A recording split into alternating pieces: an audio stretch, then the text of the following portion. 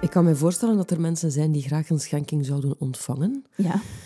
Dus op een bepaald moment stel je ouders worden hulpbehoevend en er wordt nagedacht over wel of geen woonzorgcentrum. Dat hadden we in de eerdere podcast ook al even besproken. Krijg je mensen bij jou over de vloer die hun ouders willen overtuigen van een schenking te doen? Ja, maar dat is niet altijd met de verkeerde bedoelingen. Hè.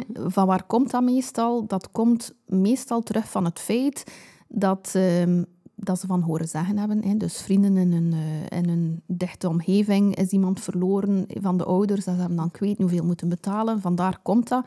En dan komen ze bij ons langs om, te, om dat dus in kaart te brengen wat dat het exact gaat kosten. Nu, ik vind dat heel belangrijk dat dat effectief wel gebeurt. Dat is iets anders dan iemand onder druk... allee, eh, Een huis wat- laten verkopen. Ja. Ja. Dat gaat niet Nee. gebeuren. Hè. Nee. Wat Dat- is jullie rol daarin als notaris dan? Wel, wij adviseren. hè. En ik vind het, ik heb het al gezegd, maar ik vind dat heel belangrijk dat mensen weten waar dat ze voor staan. En dan hebben die mensen alle informatie gekregen. Dan weten ze hoe dat de vork aan de steel zit. En dan kunnen ze met kennis van zaken gaan beslissen. Dus wij leggen uit, wij informeren.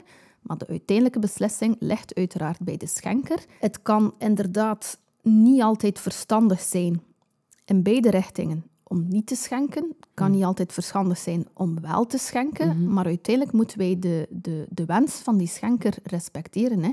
Als zij zeggen, ik doe het niet, terwijl dat fiscaal wel veel interessanter zou zijn, ja, kan je die niet dwingen. Maar omgekeerd ook, ik doe het wel, terwijl dat ik zelf persoonlijk denk, ik zou dat niet doen in uw plaats. Ja, dan ook moet u de wil van die mensen uitvoeren. Hè. Ja. Ja.